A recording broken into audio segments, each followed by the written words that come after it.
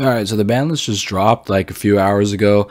And as we can see, uh, Spright Elf got banned along with Tear getting like destroyed. And basically, we're heading into a completely brand new uh, format. So I've been hearing things about how like Spright is like completely dead and people are gonna move on to playing their other decks. But um, I was doing a little bit of brainstorming for the past like few hours since the ban list dropped, and I think this deck is very much alive, if not in a top three uh, deck for the upcoming format, just behind Tear and Kashtira. Uh, I'm going to be going over why I think this deck is like a topping contender, and then kind of go over the card choices and the theories behind this deck and I think it's pretty well positioned. Also, I'll be providing a combo towards the end using very generic cards because I think in this deck, uh, there's so many two card, three card combos that don't even require specific cards. Like you can open any two runick cards plus like a beaver or blue or starter or any level two, and that's still like full combo. And the combos get better if you open just better cards than your two or three card combos. So I will be showing you guys very generic combos, but let's go into the explanation behind the deck right now. Alright, so quick overview. Let's sit. Let's go with uh, three destruction, three uh, flashing fire, three freezing curses, three tips, three slumbers, uh, storm, and a dispelling with the two fountains. So this is a bigger runick spright deck. I think uh, if you're gonna play runick spright, you gotta play a bunch of runicks because two runick cards together is complete is a full combo on top of uh, it just being generically very good. Like the reason why the runick cards are good good is because they can recur themselves. If you have to play a runick card without getting like your fountain uh, pluses it's not very good. So you have to play a higher uh, count. And I think now is like the best time to play a higher count because Tear got hit. So there isn't really a deck out there that uh, does anything crazy in terms of like uh, first turn boards. Like the Kashtira ends on a pretty good board, but I wouldn't say that's like game ending. Like Tearlaments now with like their Soliax, Planet Up, with uh, Rukalos, Elf. Uh, so now like these cards being able to trade one for ones is like extremely, extremely powerful. Even into like small boards of like two to three negates. Like for example, I think a lot of people will play like Swordsoul uh, these cards are amazing in Swordsoul. Flashing Fire, Freezing Curses, like all these cards are very, very good right now. Very good for the deck, very good against like uh, uh, mid-range type decks. So that's for the Runicks, and then played Spright Engine, played obviously three blues, didn't get hit, comes in ulti. Let's go, baby. and then we got the two Jets, two uh, starters. I kind of want to play more, but in sakes, uh, in the sake of uh, having less cards and like room, uh, I had to cut them down, but these can go up in the future. I don't hate going over 40 in this deck, but we are still experimenting with that. So right now I got the two Jets, two starters, uh, one Smashers. I mean, the theory, just to touch on the starter, the theory is that like you draw so many cards in this deck that you don't want to see multiples of once returns. So that's why it's two starters. But in the end, in the end, this card just might be the best card in the deck. So it could be just at three. Uh, but we'll see about that. And then we got the red carrot, obviously the wind up kitten, uh, very generic out because now we don't have elf, so we're using we're usually summoning gigantic a lot to like get our engine started and like just playing through cards. Uh, so having the wind up kitten just to like summon off the gigantic is like pretty pretty nice. And then it's also pretty good because we do play the mannequin cat. So at times like when they summon the earth, pretty much Fenrir, uh, we can just summon a kitten from our deck, which is like pretty funny as well. And then three swaps and anglers. And you might be wondering why we play Swap Frog, because Elf just got banned, but I will be showing the combo at the end. It uh, involves using this card. I'm sure you guys seen it already, but it this card is like really nice in this deck actually because it makes it very very well. Uh, so we still have our Toad Engine. So like I'll show you a quick generic combo on that at the end. Stick around for that, or you can skip there. And then the Beaver Engine because uh, there's a combo that goes through Sprind and I think having sprind as an interruption is also is really good on top of it just being a combo. Uh, so there are some builds where like you can go like sprind, send like Iperia or Capshell to like get a draw, but I think sending Angler to summon two Beavers is just too broken.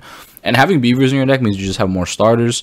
Uh, they do kind of conflict with the normal summons because you are playing Lava Golem. Uh, but I think it's fine because if you go second and you Lava Golem them, you can always discard these for the runic cards. So they're not like actually a big deal. But uh, having them in your deck is like really, really powerful, and just making your consistency better is like really good as well. Uh, so that's the main deck. Uh, and then we got side deck. So three artifact Lancea. This card is amazing against Kashtira. They can't um, you use it right away. They can't use their prosperities. They can't uh, mind hacker. They can't use any of these cards to get rid of your extra deck. So this card is very good. On top of that, I think when you're playing this deck, um, the only card you really lose to if, when you full combo is evenly because you are putting a lot of cards out there, including like your fountains face up. So you don't want them to evenly you and you lose everything. Especially when evenly gets paired with like another card like a dark ruler or something. It is pretty nasty if uh, they can resolve it. So Lancea being good against Cash, and also like if you go first against Kashtira and you draw Lancea, it's like you stop their evenly, their prosperities, and then you also just stop their engine. So they can't like even play that much. They can't play efficiently, and they can't evenly you either. So it's like it just does a dual purpose. So this card's like amazing. Um, and then we got two sphere modes to go on top of the lava golem. So when I go second, I kind of side out the normal summons. And then instead of playing into the, the thrustings, the tactics, and like all these like uh, cards that are out right now, I think Runick can play these cards the best, right? And they play around everything in the process. So like being able to lava golem Kashtira Tear and then having like two more copies when you go into side deck is like even better. And like it's super uh, good in this deck, I think, because like if you want to play around lava golems or sphere modes, you typically have to end on like one monster, right? But then like if you end on one monster, you're just losing to flashing fires and freezing curses. So it's like uh, they kind of have to um play into it. So like it's it's really really nice in this deck. Then we got the end of Anubis for the Mannequin Cat. If you're playing against Tear, you can side this in instead of ending on um the Bujin to make your Toad, you can end on Anubis instead. Uh, and I think that's a lot better against uh, Tearlament. So it's a really nice exchange. Just because I think a lot of people are going to play non-Tear decks at the start of the new format, especially since like a lot of new players, or not new players, but returning players are coming back now since they believe tier is uh, gone because of all the hits. Personally, I don't think it's gone, but Tear did get a big hit, so I think people playing it will be a lot less. So I don't want to main this card, but it is in the side because it is really, really good, and I'm still gonna respect uh, Tearlaments. Uh, Resonator, because you're playing Runick deck, so it is pretty slow. So you need uh, this tuner for like extenders. And then we got three copies of uh, Eradicators. So a deck that I think is going to be kind of sleeper in the start of a new format are two stun decks. So it's Runick Stun, this deck, but you know, in stun form and the Labrynth deck because Labrynth is getting new support in post Photon Hypernova and it did not get touched on the ban list at all. Uh, I mean, for good reason, it doesn't top, and Konami's trying to push out these uh, trap decks. So I wanted the uh, this card, super generic card, Eradicator. It's been played in Runick Spright before, but it's just game ending against any trap deck you play against. When you go first, second, doesn't matter. You just side this in, call traps, call whatever uh, spell. You play against any like high spell deck, even if you play against the mirror match in this deck which I think some people are gonna play. You just eradicate it; it's instantly game. Uh, they don't expect it because you know most people nowadays don't play any back row removal or any type of form like that. They'll always try to set a bunch of cards on you. You flip Eradicator; it's so generic because uh, if you all you need is a runick card and any level two, you just make gigantic spright. It's like super free. Even if it gets impermanence, uh, it's still live because it just goes back to the next turn and then you can eradicate them. Super good. Uh, I recommend everyone to be playing this card in the next upcoming format because you never know what people are going to be playing at the start of the new format. And then double evenly matched. Um, another card for stun decks. Another card for Kashtira.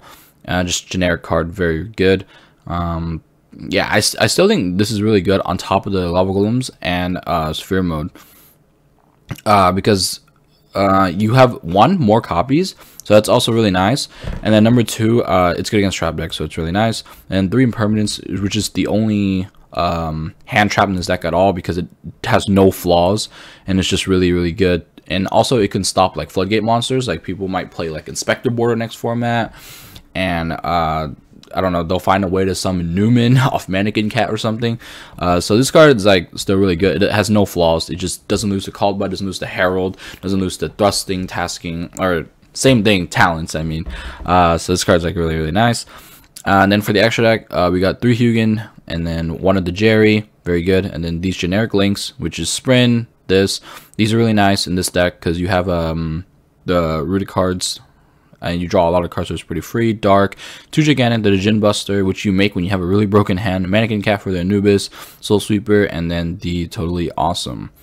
So yeah, that's the deck list. We'll go over some of the combos. I'll try to make the combos very generic, uh, but uh, I think this deck is very good, and I'll show you why. uh, with these very generic combos right now. Alright, so for the first combo, I'm going to show you guys Beaver with two Runick cards. And I picked the worst ones just to show you guys like the combo still works even if you open like the bricky Runick cards. Obviously, this combo gets a lot better if these are like tips, you know, and stuff like that so that you can draw like extra cards and have like specific cards. But for the purpose of this video, I'll show you guys the weakest possible combo just, just to show you guys how like this deck functions even if you draw like a subpar hand. And these lava golems are going to be here just to show you guys the hand count. They don't really do anything. And also, you need cards to like discard off uh, the runick cards. And uh, it doesn't matter which card they are. So like, it doesn't really contribute to like it being a four card combo or whatever because it's just any card to discard. So we'll show you guys uh, the combo right now. So activate your first runick card. Any runick card doesn't really matter. Uh, get your Hugin. Then activate effect, discard any blank. That could have been anything. Lava golems are a sample for today. Uh, search uh, fountain uh, we're gonna go ahead and activate the fountain, normal summon the beaver, and activate beaver's effect. And I'll show you a combo a combo with blue right after, but we'll do beaver for now. Um, it is weaker than blue, but um, very generic combo still. So summon the beaver, get out your angler, and then here we can overlay the Hugin and that. The angler for uh, Gigantic Spright and for Gigantic Spright's effect. So what's cool here is this is our fourth summon. So it also plays around the Nibiru in the process too, which is really, really good. All right, so uh, Gigantic will activate, and then this will summon our Frog. As you can see here, this combo is like very generic uh, because you're, you're doing this combo without drawing a single spright card. So as you can see, um, if I had a spright card here, I would even go further, but this is just showing a sample without the spright cards. And then now you have a board that looks like this. Now you can play your second runick card. Doesn't matter, you got uh, any runick card, so it's very generic, like uh, I've been saying.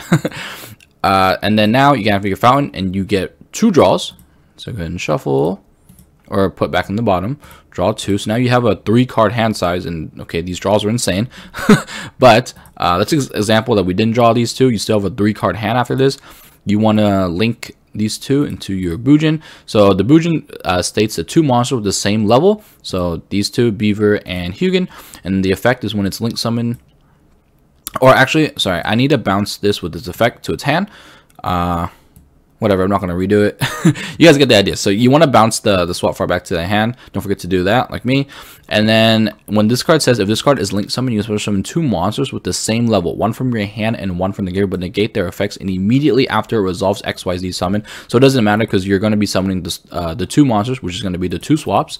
Their effects are negated, but who cares? Then immediately um, XYZ, and this will get you your Toad. So that is Toad, uh, Gigantic. And then any three cards, if you had more runick cards, it'd be nice. If you had any spright card, it would be even better because you would also get to smashers and get to an, uh, another card like a mannequin cat or the gin buster. But this is just a generic card, generic combo when you open like, the bad runicks and beaver. So now I'll show you guys a combo with uh, the runick cards with blue, which gets even better. Alright, so now we're going to go over the combo with uh, blue, obviously with two bad uh, runick cards, just to show you guys a sample of how the runick cards don't really matter. So let's get started. Kind of the same thing as before, activate any runick spell, doesn't matter which one, activate effect, discard any card, doesn't matter which card. Search for a runick fountain. Uh, so activate our fountain, special summon our blue. Blue will grab our jet. Uh, so we have jet in our hand and then we're going to activate um, Jet's effect, and then Jet is going to search for our smashers. So now we have another interruption, and here we can make a gigantic player on Nibiru once again. So it's pretty nice as these combos can play around that. Activate Gigantic Spright effect, detaching one of the sprights. And then now we can summon our Frog, kind of like we did last time. Frog will send our Frog. And then here we can activate our second uh, Slumber, or a second Runick card, I mean. Summon another Hugin. And then now we get two free draws on top of us having smashers. So now we actually get four cards instead of three like last time because uh, we do have the smashers. So draw two. Cool. And then Oh, this is really nice because we actually drew another frog to summon from the Bujin, but we'll just proxy that. Alright, so here we can go and link these two. And now instead of going for the Bujin here, what we are going to do is going to go to our Sprind. So, so um, like before, like I said, we are playing the Sprind uh, Angler Beaver package. So now you want to go through that, summon out Sprind, send the angler. We all know this combo summon up to two uh, beavers. And then, for example, if this frog wasn't here, at this point, we'd have to bounce back the frog to the hand. let's say assuming we didn't draw the, uh, the extra swap frog, right? Then we want to link these two, and then we want to make our uh, Bujin. Uh, Bujin states two monsters at any same level, so the two beavers together. And it doesn't have to do anything with summoning to its zone or anything, so that's like really, really nice. And with effect, then you can see the same thing. Summon the frog, summon the other frog, and then you can see where this is going overlay for the toad. So now we have a four card hand of smashers that we searched a sprind uh, bounce with their uh, gigantic spright and then fountain for like any runick card that we could potentially draw. And this is like full combo and also in this entire combo we didn't use our normal summon anywhere. So if you have like a beaver or um, any two level twos like a uh, red or something with like a normal summon, Iperia, whatever. You can also end on Jin Buster or a Mannequin Cat as well on top of this combo. So this combo is like one of the weaker ones. Uh, the two combos I showed are actually some of the weaker combos just to show that the deck still works even if you draw like a subpar hand. Uh, and if I drew better, let's say like I have a hand of like tip, blue, and starter, I feel like I can end on the, the entire full combo. But that's like something for you guys to figure out because I'm pretty sure it's very easy to figure out if you have a starter, uh, spright starter, nimble beaver, runick tip.